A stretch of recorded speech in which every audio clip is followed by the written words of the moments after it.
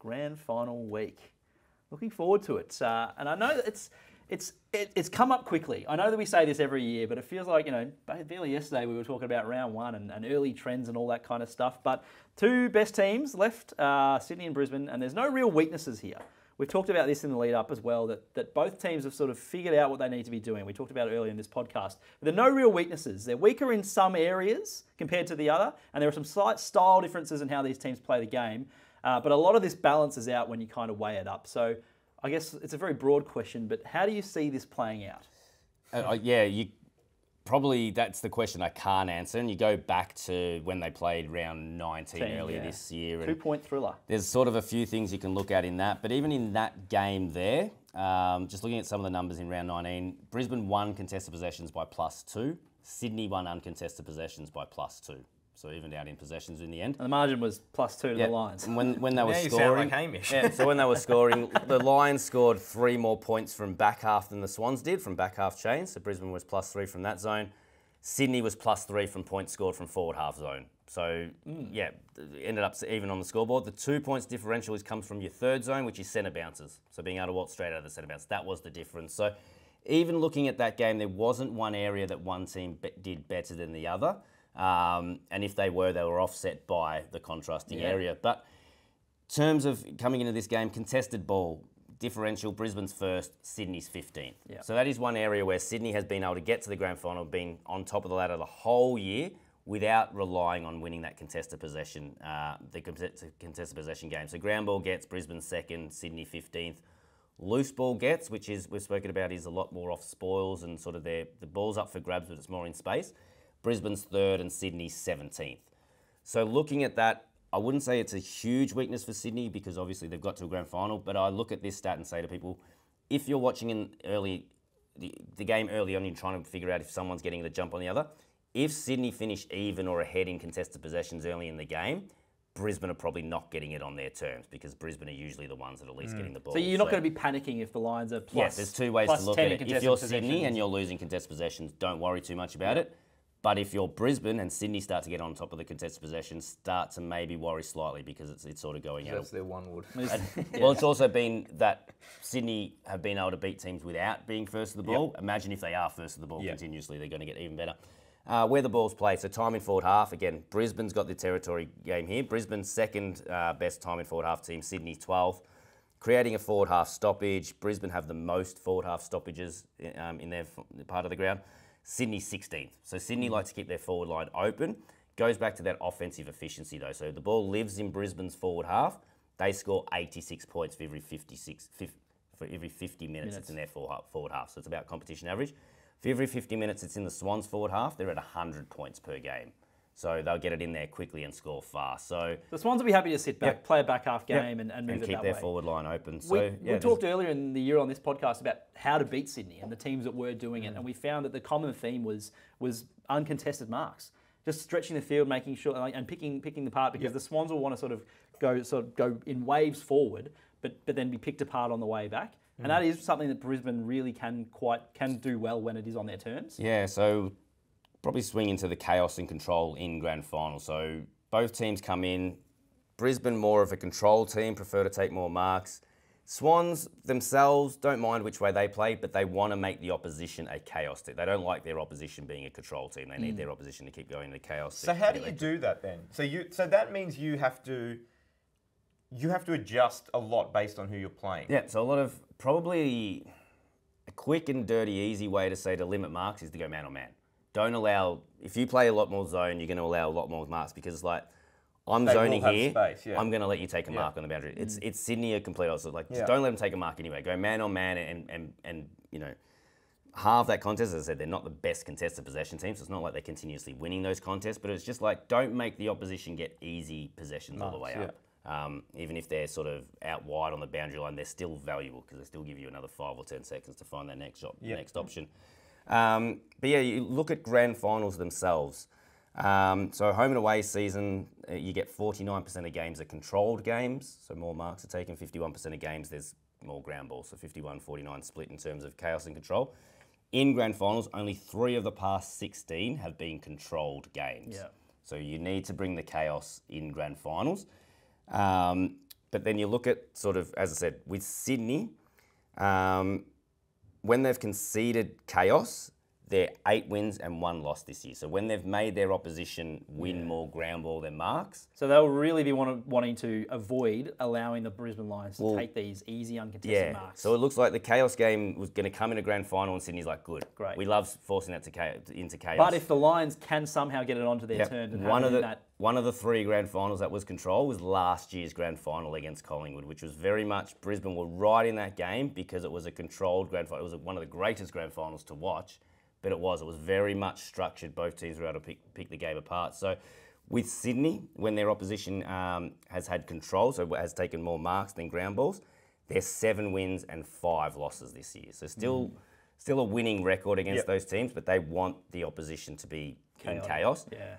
Brisbane going the other way. Um, so Brisbane themselves, if they've played with chaos this year, so they've won more ground balls than marks, they're two wins, three losses, and a draw. So they don't, they don't like chaos at all. When they've when they've played with control, they're 15 wins and five losses. So yeah, interesting thing to look for. But yeah, look Very for, different stylistically. Look for the, the Lions will want to make this as much of you know, unlike all the other grand finals, but by taking it you know a lot more control. Whereas Sydney will be happy to say, okay, let's play like all the other grand finals. Let's just get the ball onto the ground and go contest after contest after contest. Um, so Does yeah, that- it, it'll that- be interesting. Does that favour the? Is that a clear? Well, no, as I said, Brisbane have been Brisbane is such a good control team, and they were able to control last year. I know they didn't get the flag result in the end, but I, they were, as I said, they were already Yeah. 12 months result removed from having a control grand final. I think they can do that again. Um, but yeah, that, that'll be a big part to watch. That if, if the ball is continuously getting to a lot more ground ball gets, it's probably going to mean that Brisbane's going to be, you know, less favoured to win. There were stages of the Cats game and the second half of the Giants game when they mounted that comeback where it did feel like Nah, it so was. second half of the Cats game was complete control. So the chaos that you're seeing in the Brisbane Geelong game was them Handball, handballing. speed, But it was that- still all control. It was uncontested. still uncontested. It was still maintained possession. And that's why only two weeks against against the Giants, it was a very much chaos game, and Brisbane came from 44 points down Yeah. chaotically So they and won that can- game. so they they can, can- do it. yeah, And that's yeah. why, and that's why it comes down to these teams are in the grand final for a reason. Yeah. There's no way that you can just go. One if the game they- is this yeah. way, we beat them. It's if the game goes this way, they're less likely to win, Mm. but they can still win in, in both terms of the games, and both teams can do it. Fascinating stuff. I think it's it's probably the matchup. I'm really looking forward to the matchup and, and, and who wins the tactical battle and who can get on top early. And, and, and I know that the Lions have come back, but they probably don't want to do that in the grand final. We've seen that the Swans can kick accurately at the start of the game, and Lions have had their accuracy issues. There's just a lot at play. We've also seen Sydney start games really, really slowly. We have, so- yes. Um, I- the potential change. Well, go on. Sorry. I was going to say, I think for me, like the, my when I, when I look at the two teams, I think where can where can one team have a significant advantage? Where can the difference sort of be? And I think it's no surprise that my, I sort of am focusing in on um, on the star players and on the midfielders. And I think that's where Sydney has a huge advantage. And their three gun midfielders, Isaac Heaney, Chad Warner, and Errol Gulden, the goals they get from these guys, like it's extraordinary the, the goal production they get out of their three star players. 82 goals they've combined for this year. 82 goals for three midfielders. That's extraordinary. That's 3.28 on average per game. Um, by contrast, Neale, McCluggage, Dunkley, Ashcroft, and Berry have 44 combined, so like half. And that's you know three extra players. Yeah, so um, that's that's what they're getting in games that they've those three have combined for three goals. Sydney's 15 and two this year. When they don't, they're four and four. So it's it's when they get because you they're getting goal they they get goals from a lot of players. A lot of players they have have the ability to kick two, three. We've seen it. I don't know who. I would imagine if I had to guess, Sydney has the most players that have kicked kicked three or more. In Well, the- one of the stats I came across last year that sort of goes into this is like, well, is it because their midfielders are going and spending time forward? It's like, well, no, It's they've not- actually no. they've kicked. I think before last week they had to kick 52 goals from outside 50, which was 19 more than any other team, mm. Um, and a total of 15% of their goals came from outside 50. Yeah. Comp average is seven percent. So just they've been able to What hit was that, kick that stat again when they kick goals and they win?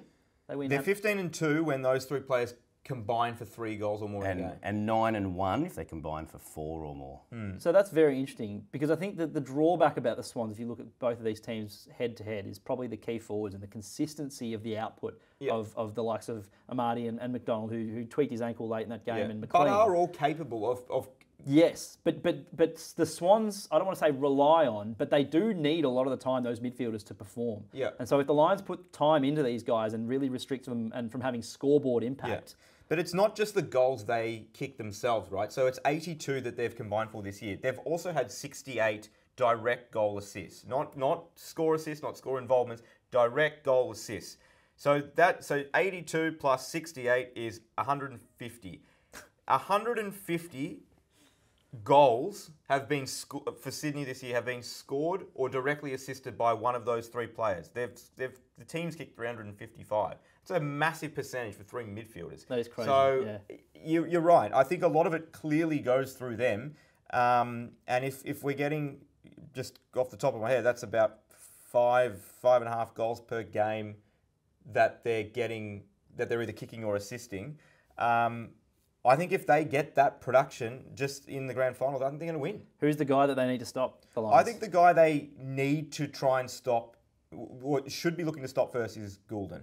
I think Gulden is the the easiest to stop is probably the, a bit unfair, but because more of his ball comes on the outside, it generally it, what we've seen in the past it's generally easier to stop those players. I think it's harder to stop Heaney and Warner. I think you've got to back your your mids to go head to head. I think they would put if I was I would be putting someone on Gulden on a wing. And I mm. think you probably get, put depending on what they do with Dunkley, Dunkley yeah. and with rucking and stuff like that. But I think the Dunkley would be a, is a good matchup for someone like Isaac Heaney. Dunkley had Heaney last time in round 19. Round 19, you speak about the goals and the goals assist stuff. Round 19 was the only game this year where Heaney didn't kick a goal or have a score assist in that game, and Dunkley basically had him for 70% of the game.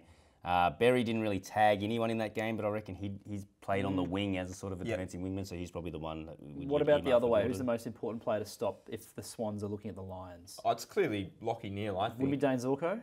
The No, it's- that he's it's- had No, see, that's where I go to Dane Zorko. Lachie Neale, yes, very, very important, but Dane Zorko in terms of the ball movement and the setup and things of that, similar to the Gulden one, I think he's easier to sit on as well. Um, Brisbane the- the can't win this the- game if Lachie Neale doesn't. Well, one of the biggest play. mistakes I think of the finals so far is Carlton not selecting someone with Dane Zorko in mind. Should have selected someone just for that matchup of Dane Zorko. I think with Sydney, yeah, it'll, it'll probably be James Jordon to start with, um, who's done a lot of those sort of half forward roles. But yeah, I think he's the most important one because Brisbane just gets so much sort of um, relief out of him and his ball movement. Even if it's not always going to be on the scoreboard, it's like, okay, at least Zorko got it and he got it 60 metres away from Yeah. goal and, and out into space. So. Interesting stuff. Yeah, no, I, I, I don't disagree necessarily with that. I just think I, I don't see a way Brisbane win if Lachie Neale finishes the game with 20 disposals and four clearances. I think he has to go big if they're going to win because we just we know what Sydney's mids are going to do. Uh, a couple of potential changes. So Oscar McInerney we talked about, but um, the question is whether you bring in the like for like replacement or you look elsewhere. And and I'm sure Fagan will say one thing, but maybe have an idea up his sleeve for the other. You don't want to give away all your secrets early in the week, but are we are so- we completely 100% putting a line through McInerney? What do you give him a one you reckon- percent, five percent, zero? What what do you actually? one chance. I think I think I've teams already are, started. I've st- I do previews and I've already started writing stuff about Darcy Fort. Yeah. So I'm sort of. teams, You're pretty much- teams will be gun shy I don't after ideas, Horse but yeah. uh, and, and the Sam Reid exper- experiment in 2022. So I think it's it's Fort or they stick with a sort of a Daniher Dunkley Hipwood hybrid. But I think they've got to bring in Fort. You, you, you, like it, you've had the ruck all year. You've had that set up all year, and I know that you can adjust, but you don't want to have to do that and rely on that in the I've- last game of I've the year. used, I've used this term a few times, blessing in disguise, and it's probably a theme of ours throughout the year. There's a lot of but teams it's the other team responding to your response Well, to the. the well, that's why this yeah. could be a blessing in disguise. Oscar McInerney, great ruckman, and, and, and they do flick it around with men putting Daniher in the ruck. When Daniher goes in the ruck, McInerney goes to the bench because he's got no forward craft at all. Darcy Fort's actually got a little bit of forward craft, so he's got that. I know it's it's only one game that he just has to come out and out of the box, but I would, you know, I'd bank. uh, I'd find it easier to bank two goals next to Darcy Fort's name than you would for uh, Oscar McInerney. So that ability to actually go into change with Daniher and go into Daniher's position might just give him that extra little bit. You know, I, I don't think you can do it as a whole for a whole year, but just for one grand final day, I think a couple of goals from Darcy Fort could be the difference. Uh, Swans, we said Logan McDonald spent the end of the game with his uh, ankle in ice. Looked a bit worse for wear as he was coming off for that as well. Would they recall Taylor Adams? Would they recall Callum Mills off a couple of weeks for a hamstring? I mean, talk Callum about Mills is- gun shy. I think Callum Horse- Mills, uh, Sam Reid, I think, has killed Callum Mills' chance. Yeah. hasn't Yeah. yeah. Uh, so you'd probably go in unchanged if that's the case. I think so. I, I mean, I haven't looked or, or heard anything about McDonald in the last 24 hours, but I, I think he was trending towards playing. Playing. If, if uh, what I initially Looks saw was very correct. minor. Yeah. Um, yeah, I don't think they will be making any changes unless something happens later in the week. But Taylor Adams, two grand finals in a row. yeah, I just don't think I just don't know what, what the spot is. Where where do you find a spot for Taylor Adams in that team? Um, I think Callum Mills definitely would be playing, but you just can't. You just can't. You just can't risk it.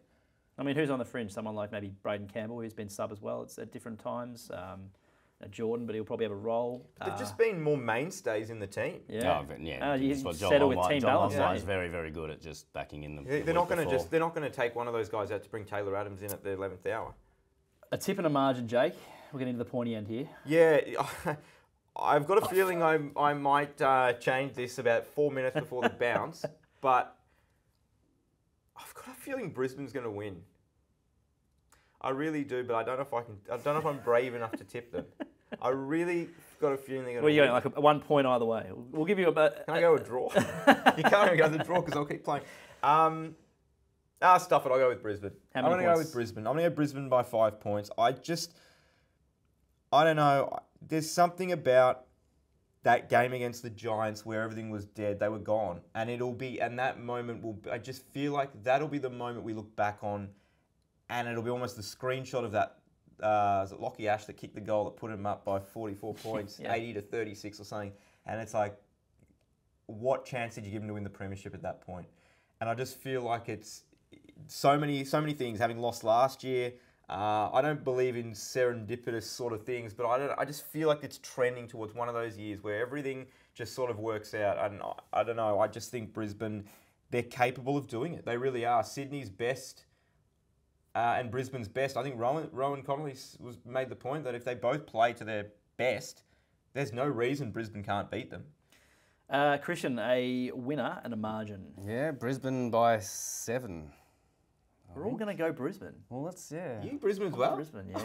I, but I, I I thought thought I Brisbane was League, gonna- coming into the pod, I had an inkling about the Lions. I just think I just think their ability to when they control the, the tempo of the footy and, and, and if they're uh, if they're able to do that, I think they win. And they've shown they can do that in a grand final and almost win. I don't know. I just I, I like the Lions as well. Gee, I mean, would I be surprised if Sydney won? Oh, yeah. Absolutely It's- not. it's a 50-50 Would I be you know, yeah. happy? You know, quote unquote. Yeah, sure. I mean, I'm, I'm, I'm you know flip a coin for these two, but I think yeah, it's going to be close. I think it's going to be close. I was right last week. I thought the I thought the first game was going to be not. It wasn't going to be close, and I thought the second one would be. And I think this one will be close too. Hope so. I can't see this one. I think it'll be. This will be twenty, within twenty, one way or the other. Um, but definitely, you can make cases for both. I guess the other question is Norm Smith medal. Oh yeah, I hadn't thought about that. Uh, I did sort of say that if it was to be someone, it, it'd be, oh, for, for Brisbane, it would be like a Kalachi or a Cam Rayner who has a cameo with three and, and, and has a has a quarter that just lifts them up. Yeah. Um, and if it's Sydney, I mean, it's a good question. Probably you're probably banking on one of those three that you mentioned. Oh, you'd be Errol, stunned Warner, if, if Gulden. Sydney won and one of those three guys didn't win it. It'd be Tom Papley would have to kick six, I think. Um, I, I'm gonna, yeah, I think I mean, you could go the obvious ones, Neale or Zorko. Daniher? I'm gonna go with Daniher. Yeah, Mm, I'm Daniher's going with good I'm going with Joe. I'm going for more of a barracking one. I don't know who's going to win it. I would love Will Ashcroft to win it. I just Ooh. think he's been great for the last eight or nine weeks, and he's just been forgotten about of how much of a superstar this kid is for year two. Year two. You got him in the superstar. I've got him in the superstar camp. Fuck, who it's you early. kicking out? I'm No, giving- no, no, well, Give me Cam Rayner two games in a row. He'll back it up.